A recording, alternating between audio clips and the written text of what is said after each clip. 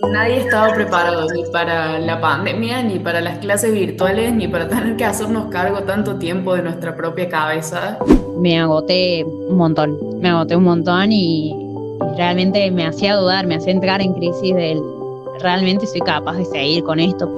Estaba muy desmotivada, muy desmotivada con la facu, entonces como que hacía las cosas más por inercia porque sabía que las tenía que hacer nomás y no y no con las ganas que, que debería. Siento que todos pensamos que iba a ser algo temporal y cuando nos dimos cuenta que realmente íbamos a vivir todo el último año de manera virtual, fue triste. Y la salud mental es... Para mí la salud mental es estar tranquilo con uno mismo. La salud mental afecta a todo, no solo tus ideas o tu mente, digamos, termina afectando tu, cuerpo, termina afectando tu contexto, tus relaciones sociales. Hay que seguir prestándole más atención a la salud mental porque eso te va a ayudar a, con los otros ámbitos de tu vida.